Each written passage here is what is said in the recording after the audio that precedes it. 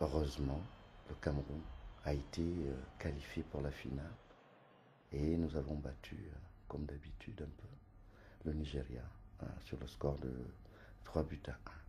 J'avais eu la chance de marquer euh, le but décisif. Bien joué sur la James qui sent très bien. But du Nigeria.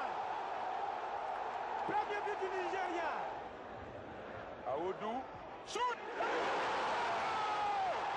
Égalisation Quel pied Abega, en dribble, sur rabat au centre, Abega. Abega, toujours. Abega, Mila, Mila,